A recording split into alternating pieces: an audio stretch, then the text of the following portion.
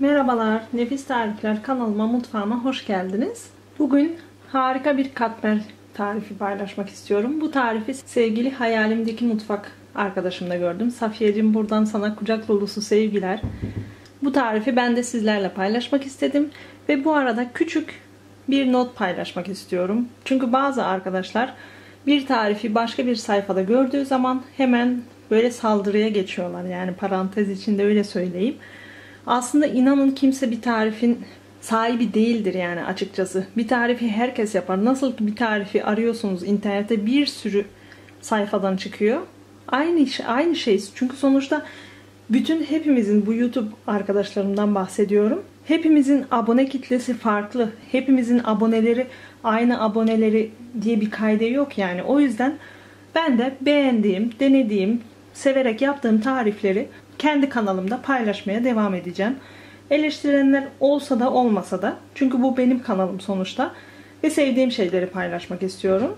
Yok o ona kopyaladı, yok o onun aynısı gibi tarzlardaki yorumlara açıkçası pek aldırmıyorum. Yani bunu da buradan belirtmek istiyorum. Zaten başkasından aldığım tarifi genelde belirtiyorum. Ve herkes bir tarife kendince bir farklılık yaratır yani ekler. O yüzden bu konuda biraz daha anlayışlı olmaya davet ediyorum o arkadaşları. Tabi genel olarak konuşmuyorum yani o arkadaşlar kendilerini bilecekler muhakkak. Bu küçük notu da söylemeden edemeyecektim kusura bakmayın. Şimdi geçelim tarifimize. İlk önce hamurumuzu yapmakla başlayacağız. İnanın çok az malzemeli. 1 kilo unu yoğurma kabıma alıyorum. Tam net 1 kilo. Bu da yaklaşık 8 su bardağına eşdeğer. Üzerine 2 tatlı kaşığı toz şekerimi ilave ediyorum. 1 tatlı kaşığı tuz ve 1 paket kuru mayam var. Onu ekliyorum. Şimdi bütün bu kuru malzemeleri ilk önce bir kendi arasında böyle bir karıştırıyorum. Ve üzerine 3 su bardağı ılık su ilave ediyorum.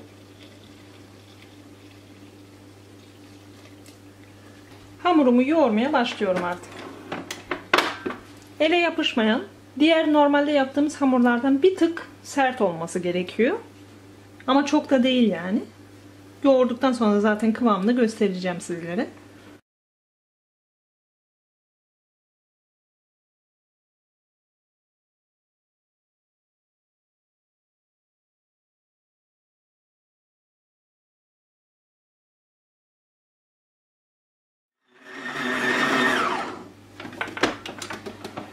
Hamurum oldu.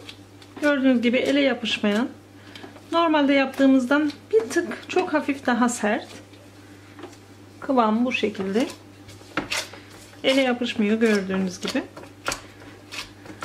Şimdi hamurumu en az yarım saatliğine mayalanmaya alıyorum. Hamurum çok güzel mayalandı. Şimdi elimi çok az yağlıyorum. Bir, bir tepsimi de yağlıyorum. Çünkü yaptığım bezeleri bu tepsime koyacağım.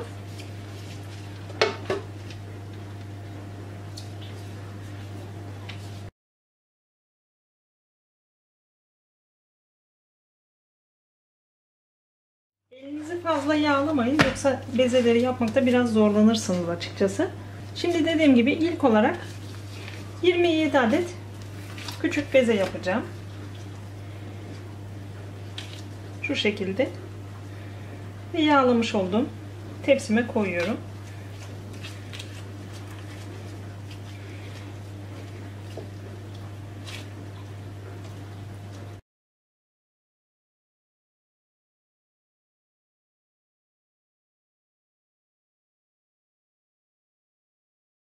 Bu kalan hamurumu da 3 büyük bezeye ayıracağım.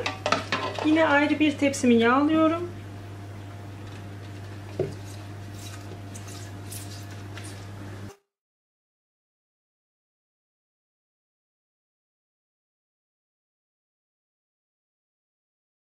Bezelerim tamam. Şimdi bu küçük yaptıklarımı önüme alıyorum. Ve üzerlerine biraz yağ gezdiriyorum. Ki açarken kolay açılsınlar. Yine aynı bunlara da.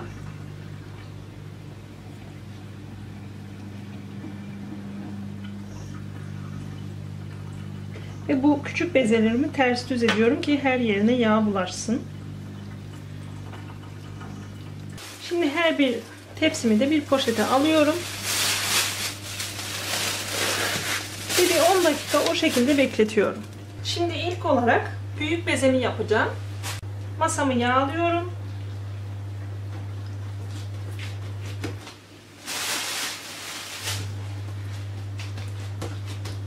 Ve elimle açabildiğim kadar açacağım. Hiç oklamaya falan gerek kalmıyor.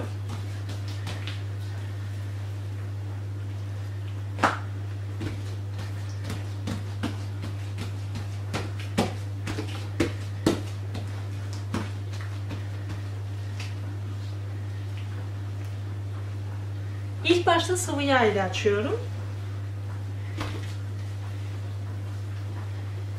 Hamurumuz çok güzel gördüğünüz gibi. Oldukça esnek. Yağda da beklettiğimiz için.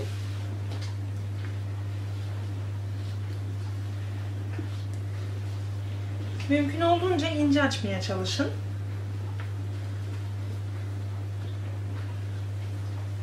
Kenarlardan yırtılma olabilir. Bu sorun değil. Şimdi bu kenarları elimizle şöyle bastırarak açalım ki kalın kalmasınlar. Oldukça büyük açtım gördüğünüz gibi.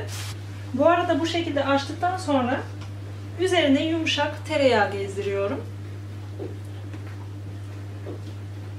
Eritilmiş değil ama yumuşak olması önemli.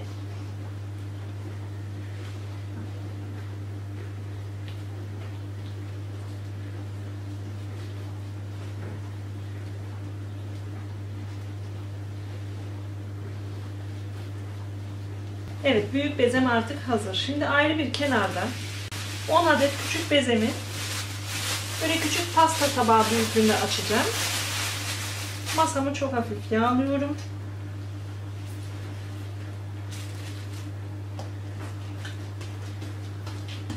Bunları da gayet ince açıyorum.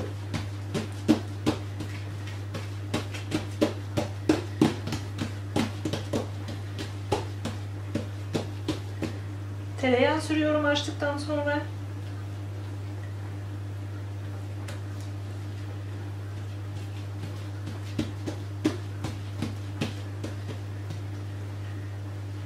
Ve açtığım bezemi dikkatli bir şekilde büyük bezemin ortasına koyuyorum.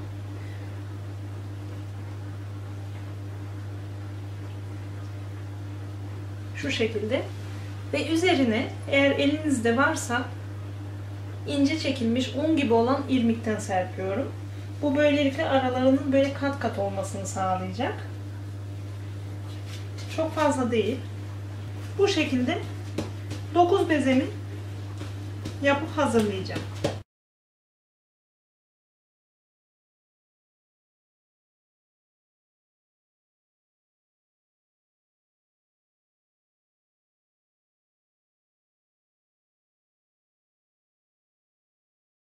Dokuzuncu bezemi de koydum.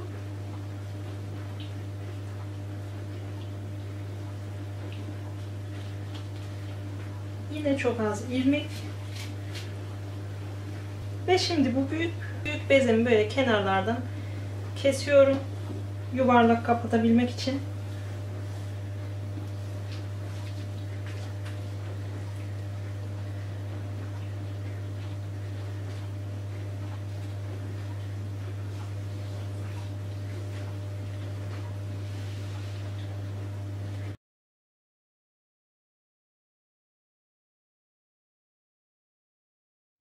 Birinci katmerim hazır.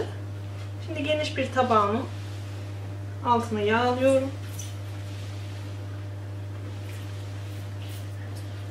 Ve yapmış olduğum katmeri buraya alıyorum. Elimle biraz böyle bastırarak açıyorum. Bu şekilde bekleteceğim. Diğer katmerlerimi yapasıya. Üzerine poşet geçireceğim. Ve diğer bezelerimi de artık aynı şekilde hazırlayacağım. İlk olarak büyük bezemi açıyorum.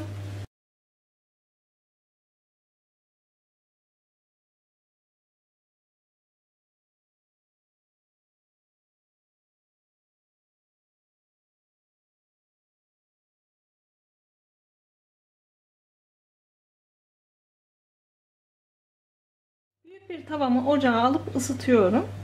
İlk yaptığım katmeri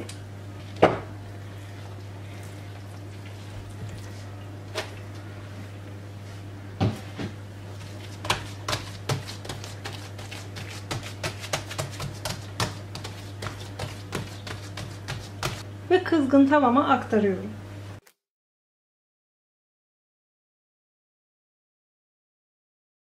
Orta ateşte sık sık çevirerek kızarana kadar pişireceğim artık.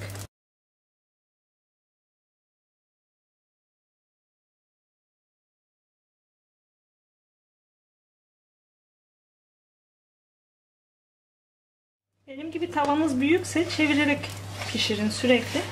Yoksa bir tarafı fazla pişer, yanar yani.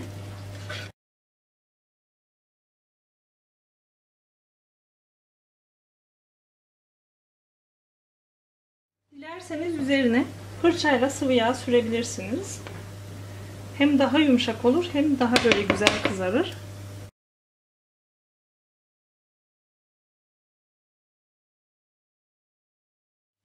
Artık alt üstü güzelce kızardı. Alabilirim katmerimi.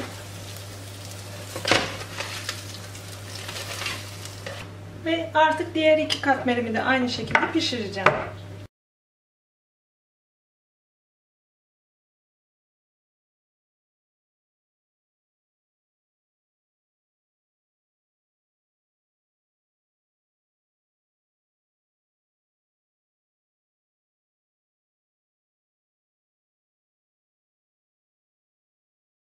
Katmerlerim oldu.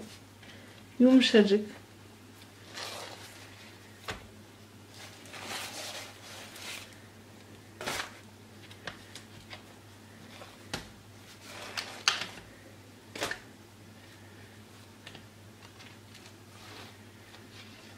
Esnekliğinden anlaşılır umarım yumuşaklığı.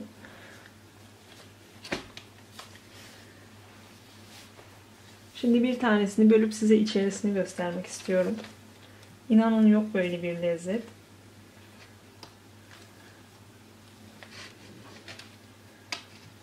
Tel tel.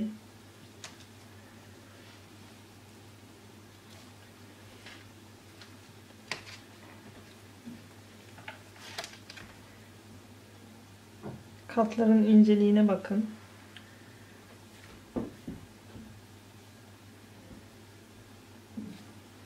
Kesinlikle hiçbiri birbirine yapışmıyor. Neredeyse katları sayılabilecek dokuda inanın. Umarım anlaşılıyordur videoda. Ve inanılmaz yumuşak. Evet umarım bu tarifimi de beğenerek izlemişsinizdir. Şimdiden yapıp yiyenlere afiyet olsun diyorum. Yorum ve beğenilerinizi bekliyorum ve henüz kanalıma abone değilseniz abone olabilirsiniz. Bugünlük benden bu kadar. Bir dahaki tarifte görüşmek dileğiyle diyorum. Hoşçakalın.